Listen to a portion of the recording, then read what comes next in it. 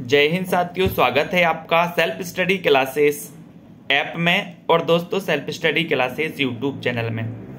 कुछ प्रश्न हम आपसे पूछते हैं। वैसे ही प्रश्न आज आपको बताना है, हिंदी कवियों का प्रथम वृत्त संग्रहकार कौन है?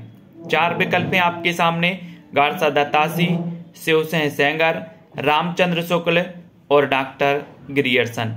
आपको बताना हिंदी कवियों का प्रथम वृत्त संग्रहकार कौन है? ठीक है? इसका उत्तर कमेंट में लिखिए। फिर आपसे पूछा जाता है दोस्तों कि दुख सबको मांझता है। पंक्ति के रचनाकार कौन है? दुख सबको मांझता है। पंक्ति के रचनाकार कौन है? भवानी प्रसाद मिश्र, गिरजा कुमार माथुर, मुक्तिबोध या फिर अज्ञे। ठीक है? दो प्रश्न हो गए आपके। एक और प्रश्न आपसे पूछा जाता है। आपको बताना है कि नंद किशोर आचार्य किस सप्तक से संबंधित थे। आपने तार सप्तक का नाम पढ़ा होगा दोस्तों। 1943 तार सप्तक के प्रकाशन से ही प्रयोगवाद का प्रारंभ माना जाता है। ठीक है? अब आपको बताना है कि नंद किशोर आचार्य किस सप्तक के कवि थे?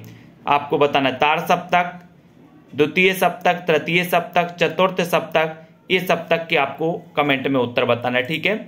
उसके बाद आपसे पूछा जाता है कि मैं वक्त के हूँ सामने। मैं वक्त के हूँ सामने इसके रचनाकार कौन है? मैं भक्त के हूँ सामने के रचनाकार कौन है? रघुवीर सहाय, गिरजा कुमार माथुर मुक्तिबोध या फिर भारत भूषण अग्रवाल। ठीक है? तो सभी साथी कमेंट में उत्तर बताने का प्रयास करें। इसी प्रकार के छोटे छोटे प्रश्न हम आपसे पूछते रहेंगे।